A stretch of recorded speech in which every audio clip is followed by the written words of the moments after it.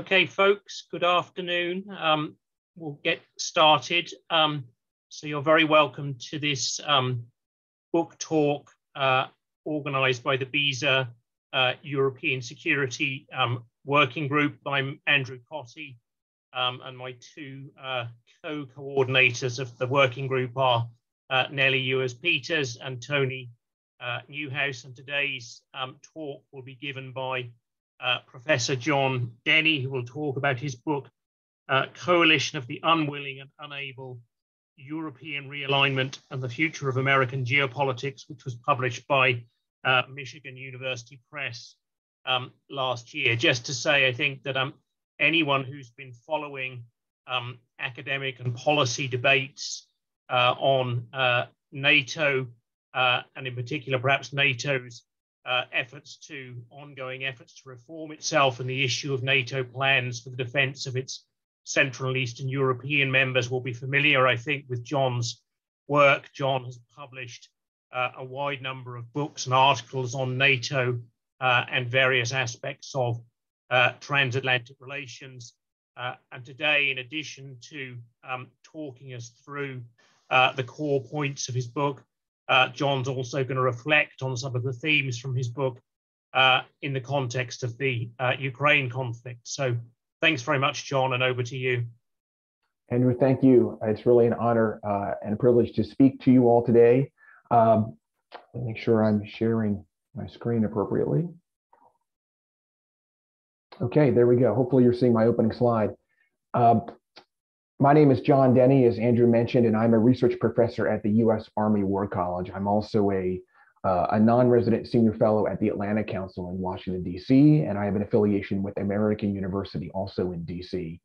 But since uh, Uncle Sam uh, writes my, signs my paychecks, I must begin with a disclaimer that the views I'm going to express are mine and mine alone and don't necessarily reflect those of the U.S. government, the U.S. Department of Defense, or the U.S. Army. So, uh, with that disclaimer out of the way, let me now talk about uh, how I first took on this project before I dive into the details of it. Um, this really fell out of uh, some questions I had after my last book, uh, published in 2017 on NATO and Article 5. In that book, I tried to examine NATO's re-embrace of Article 5 from an ends, ways, means construct. And of course, when we talk about the means, we are talking about defense resourcing. And uh, what I wanted to do in this book was to examine a little more in depth, kind of step out of the weeds of NATO per se, and examine a bit more in depth the degree to which some of America's leading allies have the, the wherewithal uh, to do all the things that Washington is hoping to do with them over the next decade. And so uh, the book, as Andrew mentioned, just came out in early 2021. Um, paperback should be out in a few months. Um, and in any case, it looks out over the next decade, that is the 2020s, and tries to assess whether and how uh, these uh, leading allies of the US in Europe um, will have the wherewithal to, uh, to assist us in what we hope to do in the world, uh, not merely in the military realm. Now, uh, the book, for those of you um, of a more academic bent, and I, I say this to with great respect to this audience, is not a theory testing book but it is uh, is grounded in theory. You're going to see some of the as I go through some of the explanation, you'll see some of the assumptions that I make, um, particularly those grounded in neorealism. But I also draw on neoliberalism as well as constructivism in some of the explanations that I'll offer. Uh, the research itself is based on a variety of primary sources, secondary sources, and about uh, a little over four dozen interviews with military and security experts on both sides of the Atlantic. So with that introduction out of the way, let me now jump into the details. Uh, why does your first of all, why does Europe matter from the American perspective? Um, this is probably obvious to many of those in the security field, but um, I think it's important to remind um, European audiences who are experts in this field um, why, from Washington's perspective, Europe matters to us from my from my perspective, the leading rationale is really the economic and trade relationship. Uh, when we include investment and trade in goods, that relationship is second to none in the world. Uh, you can see I compare it there in some of my uh, the, the sub bullets to the trade and investment relationship the United States has with China. And in, in most of these major categories, that is exports and imports, jobs, and who holds our debt, increasingly important in my country, uh, Europe matters uh, more than any other region of the world, or certainly more than, than China does at this point. Now, that's not to say this won't change, right?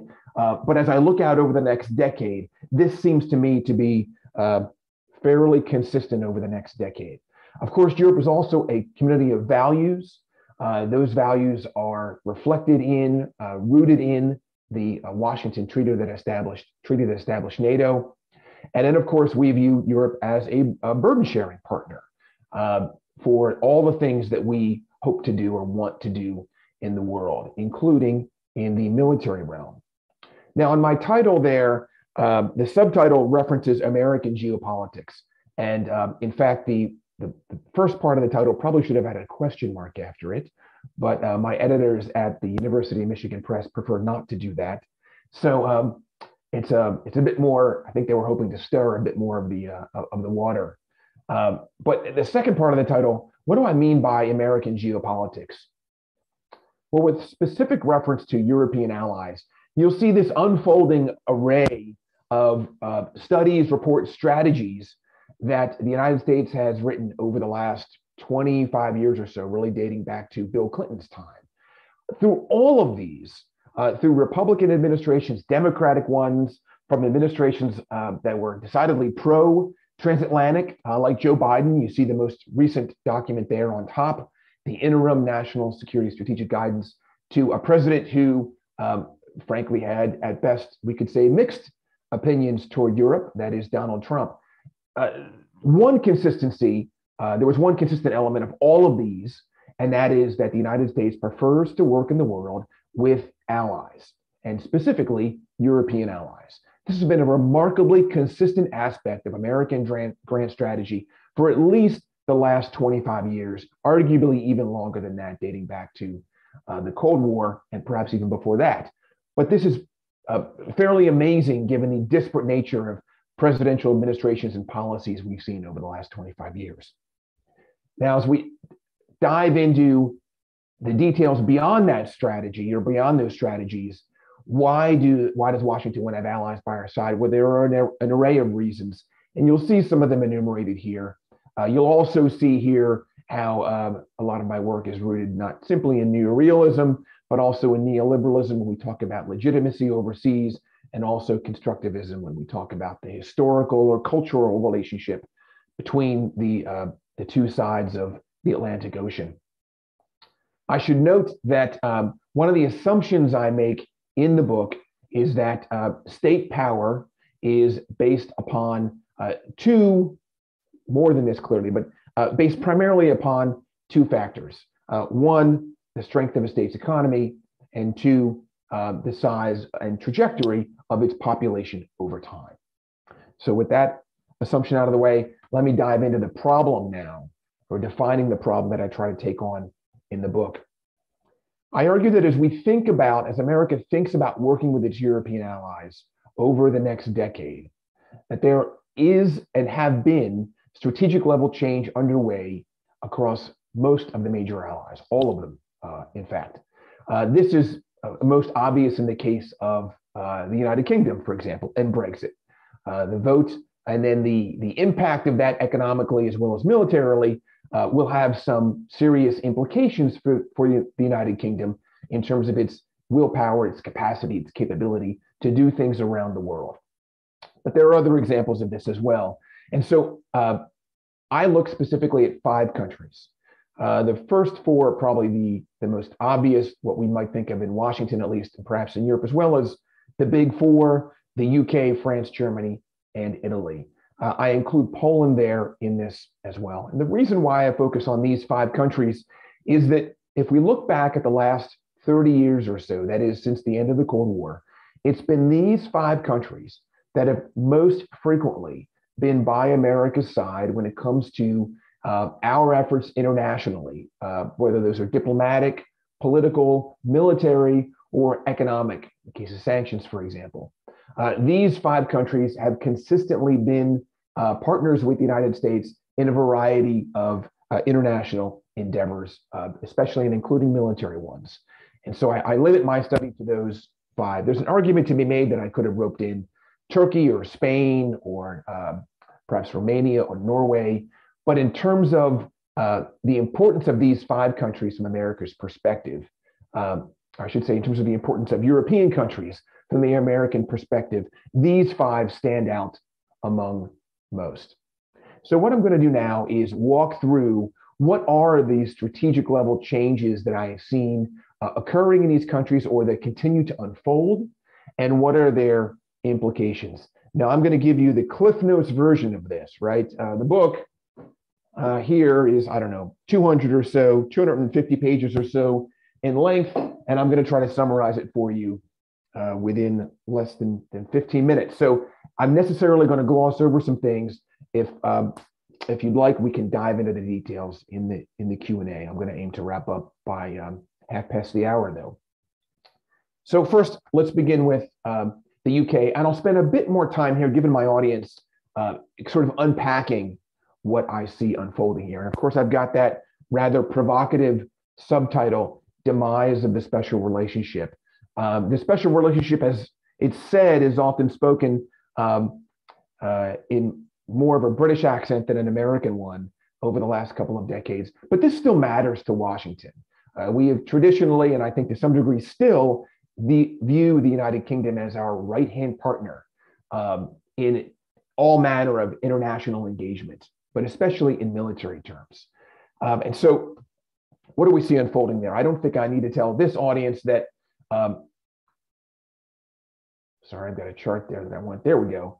Um, expectations were, of course, prior to the Brexit vote, that the vote that leaving the EU would make the UK worse off economically. There were a variety of predictions, uh, some ranging from you know, dr- dramatic, dramatically worse off in the case of no agreement or a so-called hard landing, um, to perhaps less worse off if uh, an agreement was reached that uh, would be closer to what perhaps Norway has uh, with the EU.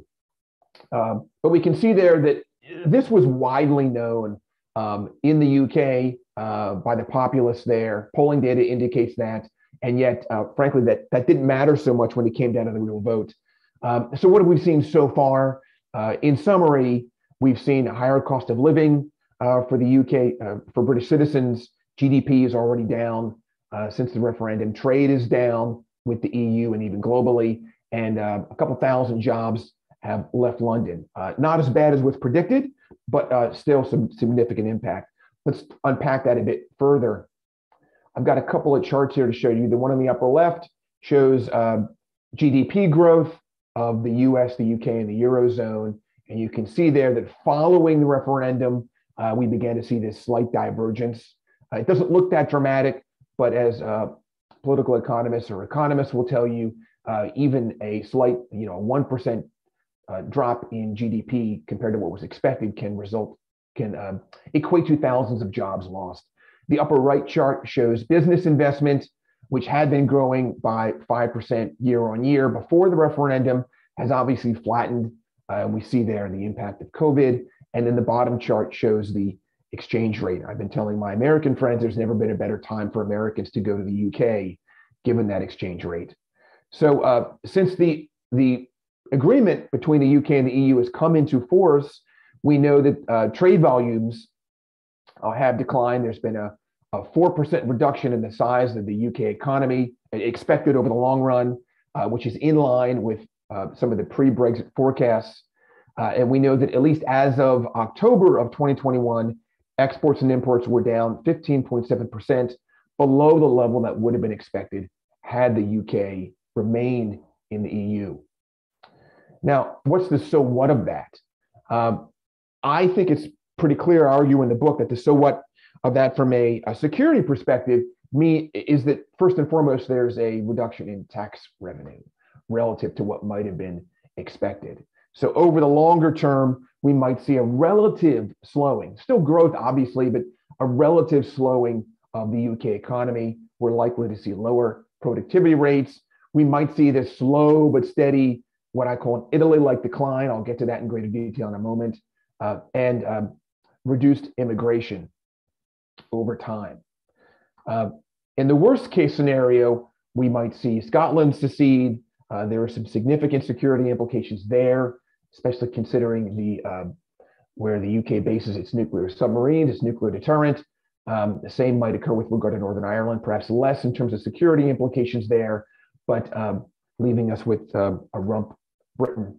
Um, even in the ex- in the uh, in the absence of Brexit, though, we know there's still the austerity hangover, and uh, military investments continue. Uh, for example, the two new carriers and the F-35s. I argue in the book these give the appearance of serious defense investment, uh, but we know that several years ago, I think it was the, the maybe under the Cameron administration, um, the question was asked, what if we were to cancel uh, the carriers because they looked frankly unsustainable over the long run in terms of manpower and maintenance? And the answer returned was that it would cost the UK more in terms of contract cancellation fees and lost jobs uh, to cancel those versus simply continuing with them. And we know that um, all services, all branches of the UK military, including the Navy, continue to have manning challenges. Uh, the most recent deployment of the one of the carriers uh, had to be augmented by F-35s from the U.S. Marine Corps, as well as um, a Dutch frigate, I believe. So, in sum, I argue in the book that reduced capabilities over time means a reduced capacity. And I think by the end of the decade, what we're going to see evidence of is a reduced strategic horizon. And I draw on two examples, two historical examples of this in the book. That is the reduced strategic horizon or the reduced strategic appetite, you might think of it. Uh, that is a lagging indicator following a decline in economic capacity, uh, which then is followed by a decline in military capacity and capability. And the two examples of that are first the United Kingdom about 50 years ago when it um, basically uh, decided to withdraw from east of Suez. Um, and more recently, the Netherlands between about 2005 and about 2017. We see again this uh, reflected in Dutch strategies that were released in that time period, reflecting the, the, the downturn in Dutch capabilities and uh, military capabilities and capacity. Now, I know that in 20, 2020, um, there was this announcement about, um, I think, another 20 billion uh, British pounds for the defense budget. But frankly, I think if we unpack that a bit more, and maybe we could do that in the Q and A, there's a lot more smoke than fire in that announcement. Uh, and we know most recently, given the rise of inflation, uh, we're hearing uh, that um, the purported investments in UK defense are um, going to be uh, degraded by uh, inflation. And in fact, we, we expect to see year on year in real terms an actual decline in the British defense budget. Uh, so there's pressure now on Boris Johnson's government to perhaps do something about that and announce an increase in, in defense spending. So let me leave the UK there for now. We can, of course, return to this in Q&A in greater detail if you'd like, and turn next to France. I argue that in the case of France, we see uh, what I term an incomplete revolution. Uh, Emmanuel Macron came to power in 2017, promising um, a political revolution, kind of merging left and right or drawing on left and right. Uh, but that and that was going to be predicated on an economic revolution or tied to an economic revolution. And we know that he's made um, made an effort to rejuvenate uh, the French economy, uh, but not all of those have uh, met with success yet in terms of loosening up labor markets, for example, in terms of making it easier to start or close a business uh, in France, uh, loosening the power of unions. All of these things are still works in progress. It remains to be seen whether uh, Macron will have success here. And you can see the, the chart on the right depicts unemployment, the gray line, perhaps a bit difficult to see there, but the gray line is uh, French unemployment. You can see with Italy uh, uh, fairly high, uh, much higher than uh, the UK, Germany, or Poland. Uh, demographics in the case of the French remain a bright spot. That is, it's one of the few countries in Europe that are projected to have a growing population over time. But this challenge of unemployment doesn't help um, in this regard. And what I mean by that is um, the, the growing population, the risk there is that that simply saps French social services more instead of adding productive capacity uh, to the economy. We know that current French military operations continue to sap the French military. Uh, although the, the uh, effort in Mali is uh, winding down their mission there, Operation Serval is winding down.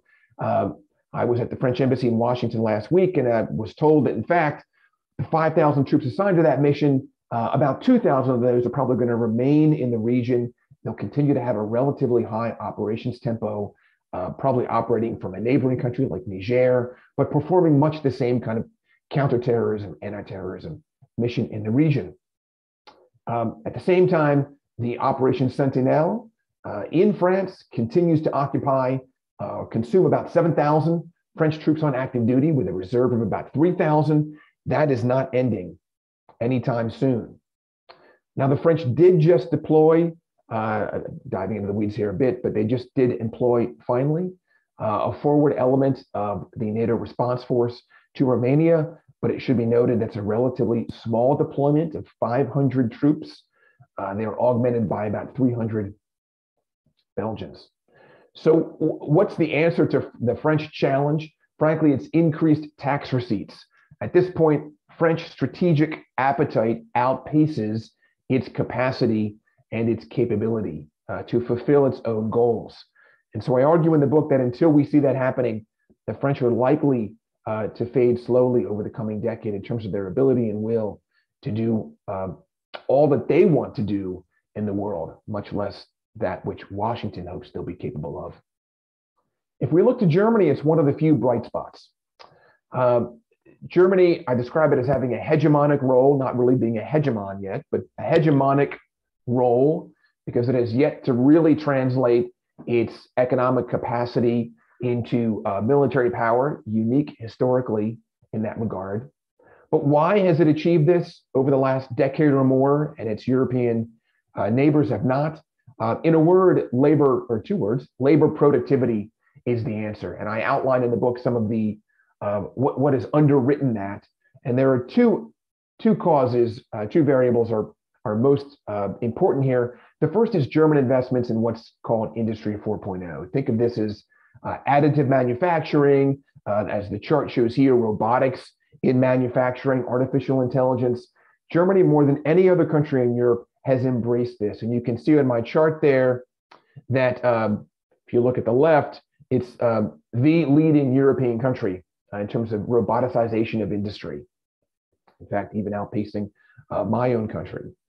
And the second rationale or second variable here that helps to explain this labor productivity boom we've seen in Germany over the last decade is loosening of German labor laws really about 15 years ago. Now, anybody who has worked in Germany uh, knows that uh, relative to perhaps the UK or the US, um, German labor laws are still somewhat constrictive, but nowhere near what they were 20 years ago. Uh, and so this has had a significant impact on the German economy uh, making it far more uh, adept, responsive to changes in the international economy, changes in globalization, uh, much more so than countries such as France or Italy. Now, we know, of course, the Germans have been reluctant to translate their economic power into military power. And so, for the time being, at least, their capabilities and their capacity will remain very limited. But I argue this is going to change over time. If we look at polling data, younger Germans are increasingly, relative to their elders, increasingly comfortable with a more uh, a more involved Germany in the world, a more engaged Germany. And if we can compare Germany today to where it was a generation ago in the 90s, we see that Germany has dramatically increased its engagement, uh, even in military terms. We compare what uh, happened with regard to Bosnia in the early 90s with what Germany did in Afghanistan. It's really been a sea change. I think that trend is going to continue in terms of German will. And we just saw an excellent example of um, Germany really exercising this capacity that it has, its economic capacity, uh, with the announcement of a 100 billion euro fund uh, for defense investment. Uh, we're really seeing we're in the midst of a sea change of a German security policy, and that is enabled by the economic power that, that Germany uh, retains and looks likely to retain over the coming decade. In terms of Italy, this is the ally that I see from the American perspective of having this, the steepest decline in terms of uh, capacity and capability over the last decade. It's long played what we think of as sort of fourth fiddle in Europe, but now maybe bordering on fifth or sixth if we consider Spain or Poland.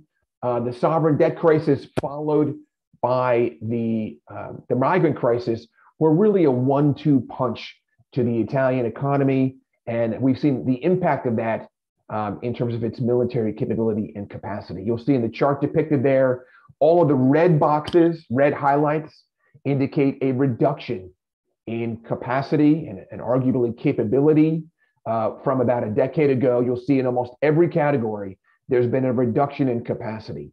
Now, you might argue, well, we've got more advanced equipment these days, and that's partially true.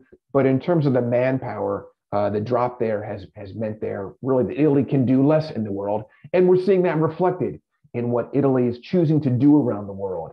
It has uh, gradually begun a process of um, strategic collapse, really to the Mediterranean basin, and perhaps uh, just barely beyond the North African littoral, um, focused primarily on that which might generate waves, future waves of refugees. Turning to Poland, finally, uh, Poland has really been Europe's economic tiger over the last decade or more. It managed to avoid recession um, in the, the, middle or the early parts of the uh, 2010s, one of the few European countries to do that in the wake of the, uh, the sovereign debt crisis. And it's taken that economic power and now invested substantially in its military. The big winner there uh, in terms of service has been territorial defense.